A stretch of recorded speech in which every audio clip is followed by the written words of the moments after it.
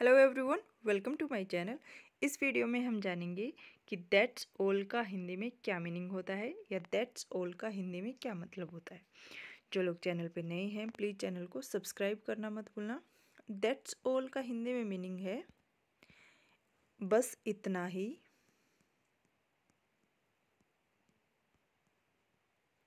या इतना ही।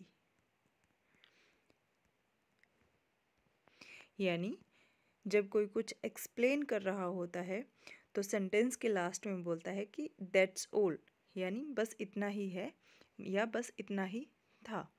ठीक है?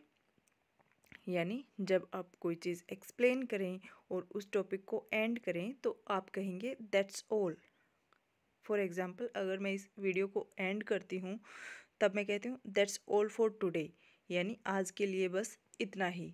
ठीक है?